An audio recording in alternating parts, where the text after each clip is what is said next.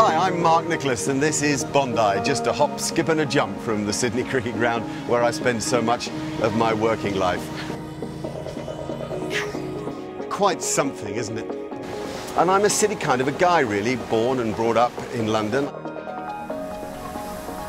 I came to Sydney around about 15 years ago. I love this ever-changing canvas behind me. The sky, the sand, surf, the sunshine. Most of my days start here. I love the people, the fashion, the food. I live the life here and I love it. Like any city, Sydney's heart beats differently in different spaces. Love that um, feeling.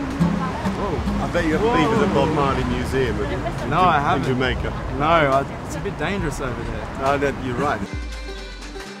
The key to finding out just how that heart beats is to peer beneath the surface and explore the hidden truths. The cities you visit can define you, just like you and I can define the city. Every city has a head, a heart, and a gut. Every city has the privileged and the impoverished. Every city has lights, camera, action, alongside refuge and tranquility.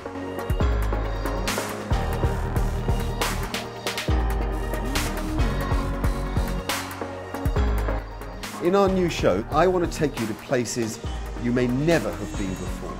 To the lanes and byways, unsung pubs and parks in cities that you may never have seen before. Yes, of course, the Harbour Bridge and the Opera House personifies Sydney. And in London, the Thames, the Tower Bridge, the Tate Galleries have the same sort of impact. London isn't all about the Tower of London and Tower Bridge and Buckingham Palace. Actually, for me, it's more about neighbourhoods.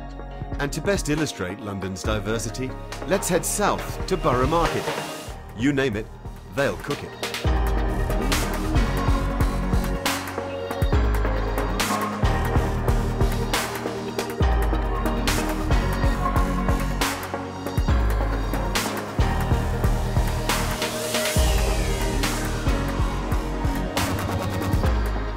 Our new show invites you to come and dance to the music and rhythm of the great cities of the world. This is more than a travel show, this is a date, a speed date indeed, with the intriguing and sometimes mysterious sights, sounds, and cultures that make the most exciting cities of the world go round. We better be quick. We've only got 48 hours.